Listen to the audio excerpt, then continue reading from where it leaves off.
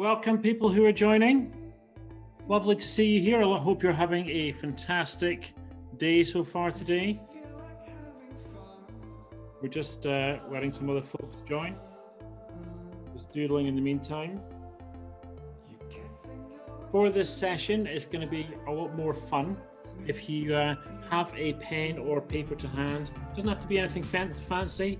A biro will do. Sharpie-esque thing will do. A felt pen will do.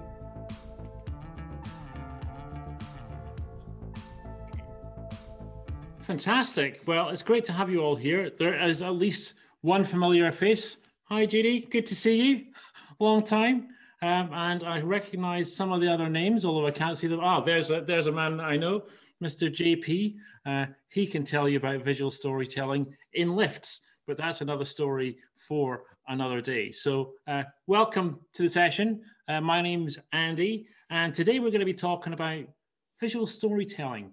Uh, it's really about some of the secret sauce of visual storytelling, kind of the why, how, and when. And so uh, to do that, I'm going to talk at you a little bit uh, for five to 10 minutes. And then we're going to get your hands dirty and do some drawing, and I'll tie it off at the back end. So great to see you all here. Um, I'm going to flip cameras and go back to the overhead. Um, and um, we're going to talk a little bit about uh, why. So why why visual storytelling? Well, there's a couple of reasons why visual storytelling is, I think, quite special uh, and does quite special things. Uh, the first of these is really all about memory. So, so um, pictures um, help us remember. So we're really good at remembering pictures. Like way back in the 1950s, there was a guy called Dr. Fixot, would you believe? And he did a whole lot of research on the brain and pictures and memory. And one of the things he came up with was, or he, he researched, was the fact that when our eyes are open, at least, uh, kind of two thirds of the electrical activity in the brain is kind of deals with processing imagery. And so that means our brain devotes a lot of resources. So we're really wired for visuals in a way that actually helps, really helps remembering kind of more recently, uh, like 2018, um, there was some research done by um, Waterloo University in Canada. And um, they were looking specifically at does, well, they were looking specifically at a whole lot of different techniques for remembering.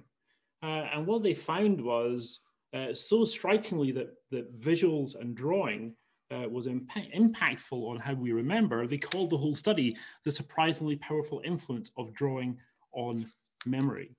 Uh, and they said that they actually showed in the study that um, basically drawing is more effective than anything else for remembering stuff.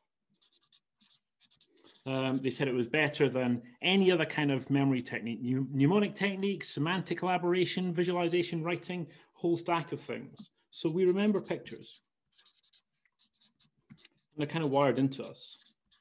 So the other thing for all, for all of us is story, and this is obviously the other side of visual storytelling. And you know, obviously, we're we're kind of wired for story. I mean, we've been we've been telling stories since we lived in caves, and I would say actually there's a handful of things. You know, we've been telling stories, drawing pictures, making music, uh, playing games since we're in, ca in caves. The kind of basic entertainments haven't changed. Um, but there's something kind of magical about story. And again, uh, we remember stories. Um, we find stories very, very compelling. Um, they stick in our minds. Uh, there's a lovely, um, a lovely tale I came across about um, a, guy, a research firm called Gary Klein a few years ago. They were asked to create some uh, kind of conference summary materials. And what they did was pretty unusual. They, they, they went and they kind of went into all the presentations by the keynotes um, and they took out the stories. So they, they, they, like cut off the they cut off the um, the preamble at the start, um, and they just uh, they cut off the wisdom at the end, and they just extracted the stories from those talks and compiled it into a book. And they showed it to some of the, the participants. Participants thought it was fantastic um, because those stories encapsulated the main things that they remembered out of those talks. Um, however, the, the, speakers they, they weren't so pleased because um, in fact, they'd taken out all the speaker's wisdom. But the point was the, the people didn't really need that wisdom. They could get it themselves from the story. So this business of remembering then um, is really a lot of what visual storytelling is about. You might say, well, Andy, remembering, you know, um, so what? You know, remembering is not such a big deal. Well, I, I'd kind of counter, I'd kind of counter that. I think remembering really is a big deal. I mean, it's one of the reasons why I'm such a fan. I'm sure you, a lot of you are such a fan of, of Kanban. By having something physical there, it's kind of unavoidable that there's 352 tickets in test that need attention. You can't get away from it. Um, so if you think about why people don't follow through and do things, very often they don't follow through and do things, not because they're not conscientious, not because they're not professional, but because they just forget and other things are front of mind. And having things visual is a really great way, um, and having things visual in your environment is a really great way to have things front of mind. Now, when we draw, what it does, as, as kind of found in the kind of research we were talking about, is it connects a picture to meaning. And it's that connection to meaning which is why we remember it. With a story, it connects us to how we feel about that story or to meaning over time. So that means that visual storytelling is kind of like a superpowered Kanban board, where instead of giving you a snapshot of where you are now, it places you in the story of how you're doing and making meaningful progress. It's showing where you are in a bigger story. And it's making that impossible to ignore because it's visual and it's kind of in your face. Now, that doesn't just make you remember the story, that makes you want to act. And if you're working with teams and organizations and trying to help them change, that's incredibly powerful. So, visual storytelling, then, why I think it's powerful is because it's all about creating a shared memory. And interestingly, when in the 70s, when people first started experimenting with live illustration and graphic recording, they didn't call it graphic recording or scribing. They called it creating shared memory. Um, so a compelling shared memory then that puts us inside a shared narrative or storyline where it connects us, I think, to our identity and what we want to happen in our story. It makes us see ourselves and what we want to achieve. So if you aren't at the beginning uh, or you aren't at the end of something, then you're in the middle of a story. So what story are you in? What role are you playing? And where's the story going?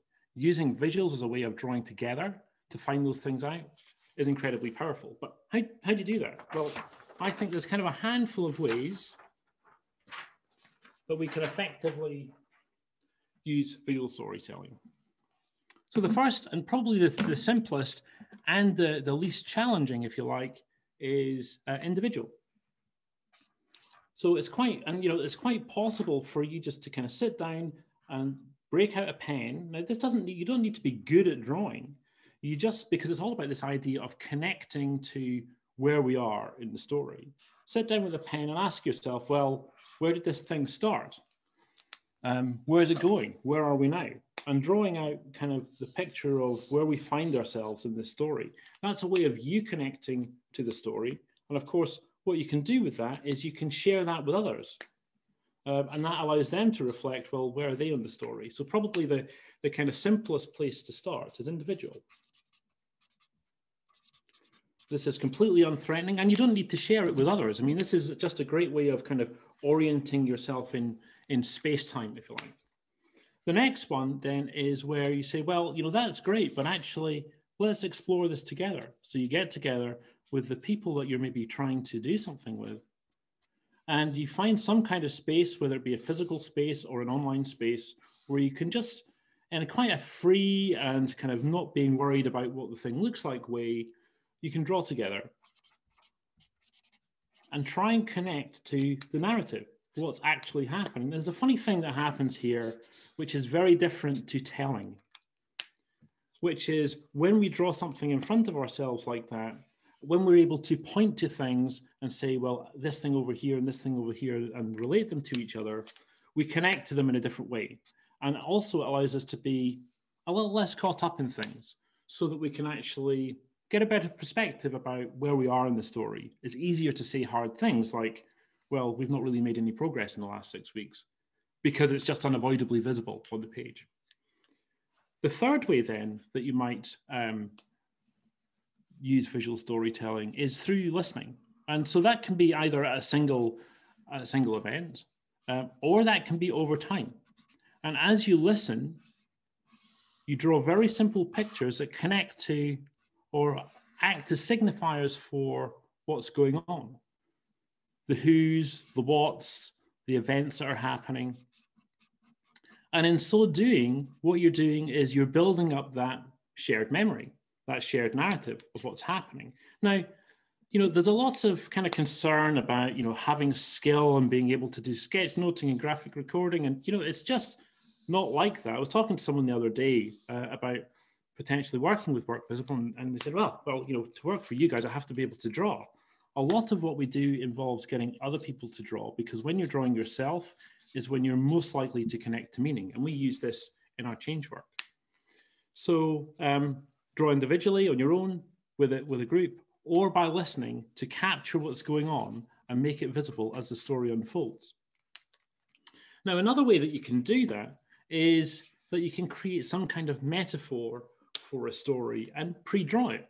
And then as things unfold, you yourself or with others, you can tell the story as to what happens. What's quite nice about this is that you might have an idealized picture. So let me just use something that's quite, I don't know, quite tropey, I suppose. Let's say there's a mountain range for something we're trying to achieve. Then I would beforehand draw that out very lightly in like a gray like this or in a pencil and then as the thing happens, then we kind of talk about what's going on. So we start off here. Actually, we didn't end up down here. We ended up down here because we took a wrong turning and found a cave with a bear in it. So this is where we ended up next. And then we wound our way back up to the ridge again, only to find that there was a crevasse there. And so as the story goes on, you're able to actually con connect to and build a narrative. This is really powerful because there's no, because this is um, made visible either by sharing together in a digital space or being highly visible in a physical space. It's like a back, in the same way that a Kanban board orients you to what's happening right now, it's like having this background awareness of where we are in the story and what we're facing. And that's tremendously powerful. And the last way then is um, where you know you might just use a whole series of kind of mini uh, mini versions of this in the story itself so templates that we might use very simply just as layouts for how do we capture questions about things that matter. Or, you know, maybe maybe we've got a, a challenge coming up. We don't know how to cross. Maybe we've got some, some kind of crevasse we need to cross. And we're asking ourselves, well, how do we get over this? By drawing it out and making it part of the story, it allows us to use this kind of visual storytelling, not overall, but as we come across different chapters and parts of the story. Okay, so these are kind of some of the ways that we can actually use it ourselves, together, by capturing it just by listening, by kind of laying out how we think things are going to happen and then drawing how it actually happens as it goes along, or by using visual storytelling within chapters to make things happen. Okay, so that's quite a lot of me talking. Um, what we're going to do next is we're going to let you experience this a little bit yourself, and it's kind of in a fun way. So we're going to put you in a a breakout for five minutes with three or four other people. And what I want you to do is to have a conversation and try and come up with a character and a situation that you're all going to tell a visual story about. So, you know, for example, you know, that might be, you know, it might be a, a scenario where, you know, you were, you arrived and uh, maybe the moment that you arrived on this gig, uh, everyone else left you know, so that would then be the the the, the starting position is everyone else is is kind of is kind of leaving. But think of a real situation, something that you remember, where there's a kind of nameable character and a clear starting situation, and just between you try and come up with one character and situation that you're all going to together uh, create a story about.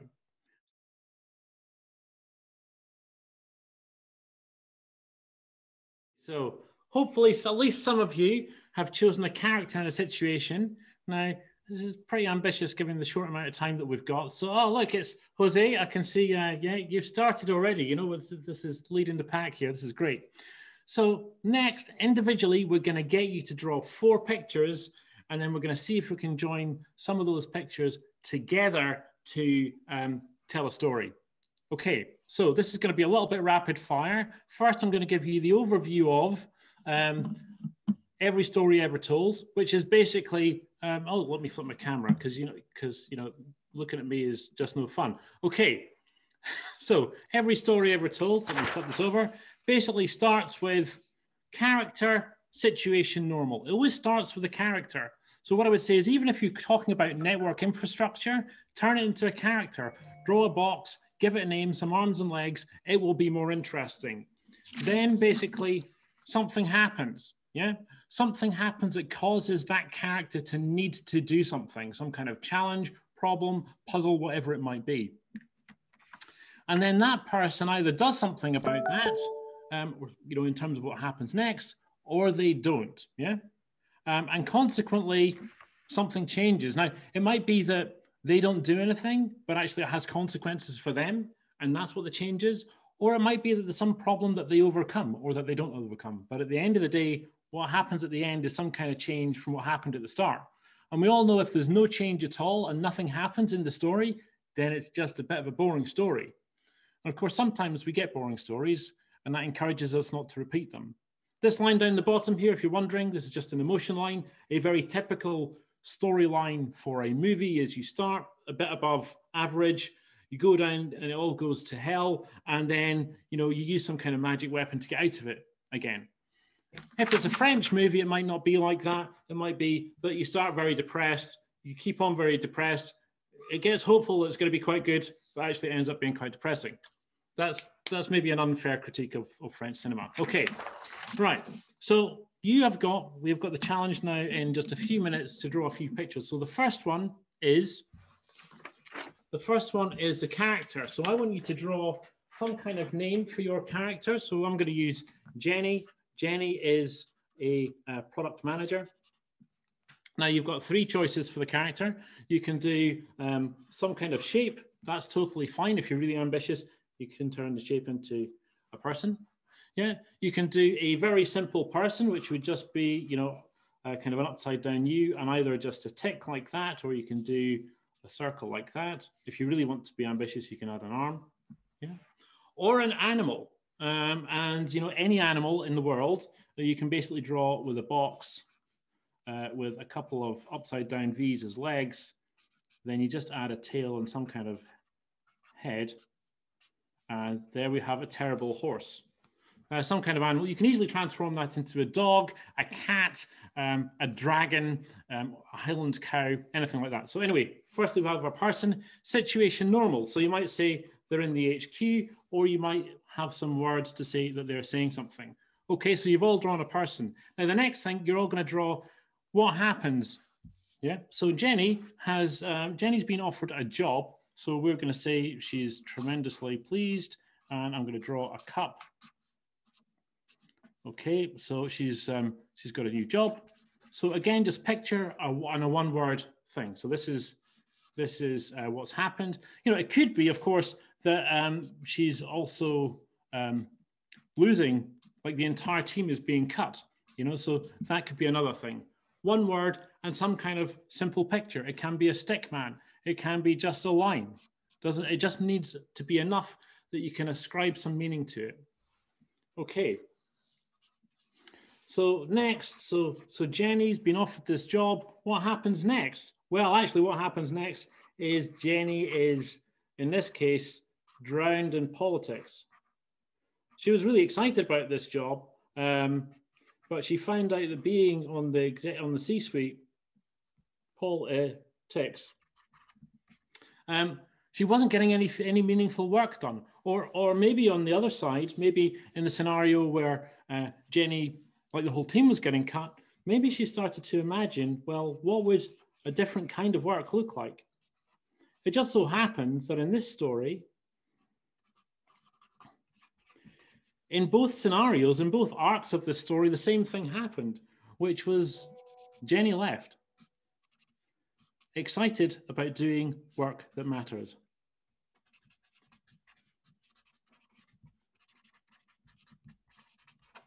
So I will give you another minute to try and finish.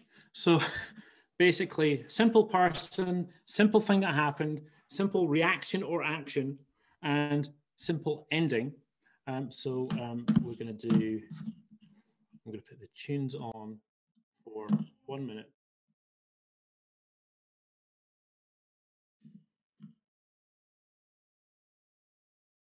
Do feel free to wave at me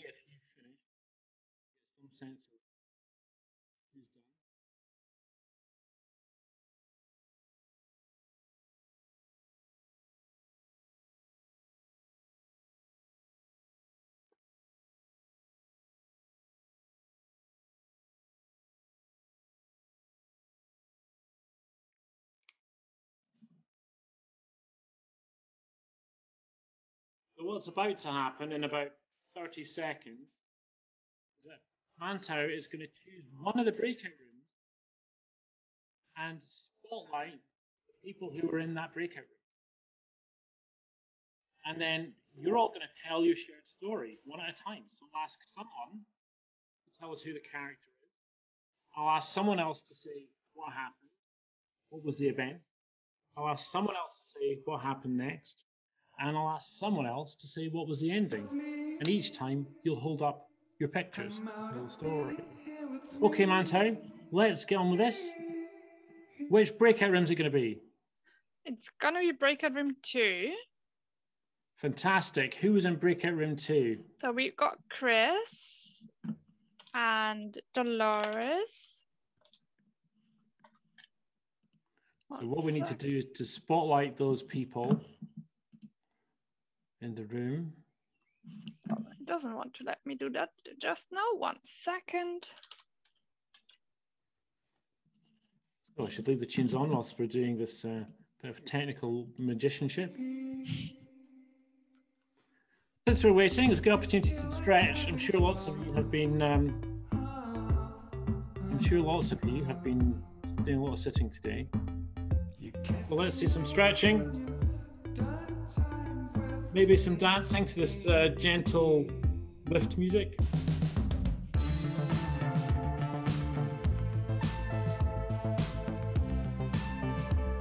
Oh, looks like we're not spotlighting, so we might have to improvise.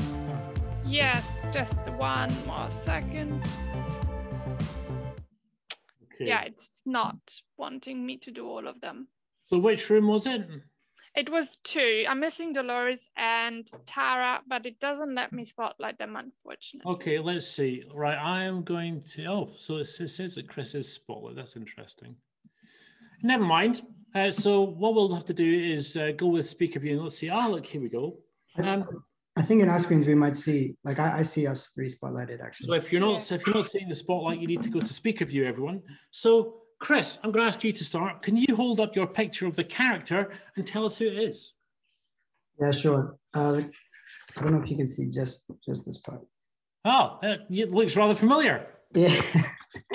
Pretty So this is, beard. uh, yeah, so this is someone named Andy who's trying to uh, prepare a talk for a conference. Fantastic. And Tom, show us what happened. What was the event? What happened next?